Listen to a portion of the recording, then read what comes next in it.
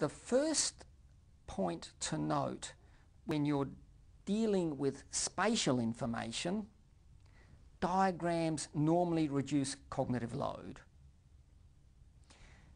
Let me give you an example to make that easier to understand.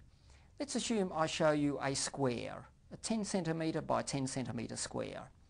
It'll take you a fraction of a second to recognise that as a square. You'll know that's a square as soon as you look at it.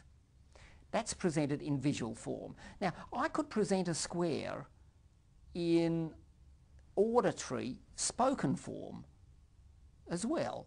I could, for example, tell you, think of an object that consists of a line 10 centimetres long which is vertical, goes up and down.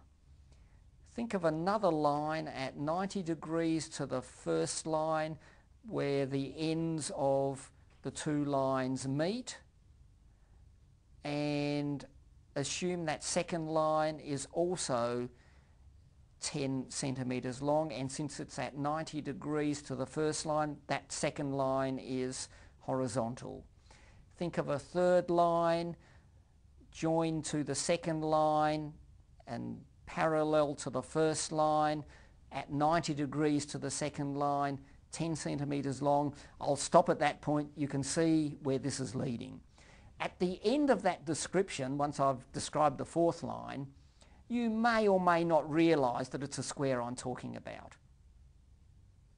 That sort of information should never be presented in verbal form.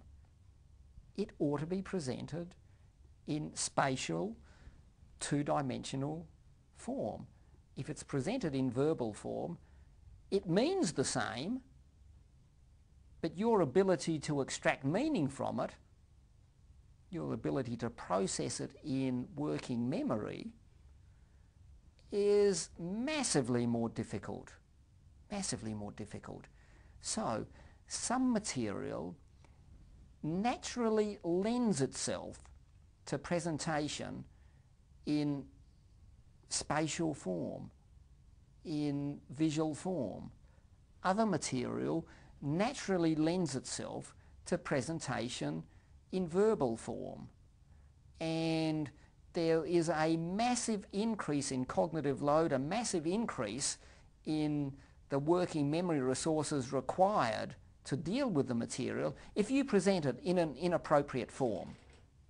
So, you need to keep that in mind, even for simple tasks such as dealing with a square it's better presented in spatial form. Now, some material, as I said, is better presented in verbal form. If you're dealing with abstract concepts like truth, beauty, justice, I don't know how one would present that in spatial form. There may be some way of doing so. You would probably have immense difficulty understanding me if I attempted to present that in spatial form. The obvious natural way of presenting a description of, let's say, truth is in verbal form. It's the obvious way of doing it. Your cognitive load, your working memory load is reduced by presenting that concept in verbal form. Other material, two or three dimensional material, is better presented in spatial form.